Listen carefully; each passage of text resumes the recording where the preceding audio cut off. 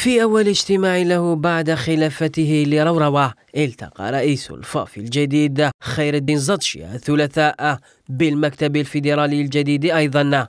المكتب نصب رب حداد نائبا أولا لرئيس الفاف وبشير ولدزمير لنائبا ثانيا من دون تكليفهما بأي مهمة وكلف الجهيد زفزاف بالمالية على مستوى المنتخب الأول. وحكيم دان مكلفا بشؤون الخضرة.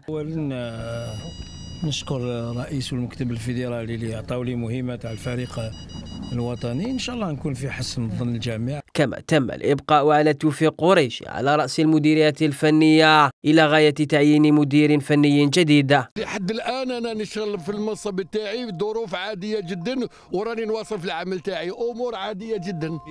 هيئة الزطشي قرر تعيين مسعود كوسا كمكلف بالتحكيم خلفا لخالي الحموم إلى غاية تنصيب رئيس للجنة فيما كلف أمل بمهمة تعيين الحكام.